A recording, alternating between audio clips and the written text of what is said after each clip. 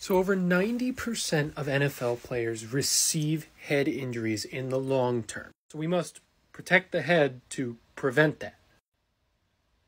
Canada has come up with a new helmet to protect the head. Must protect his thoughts too.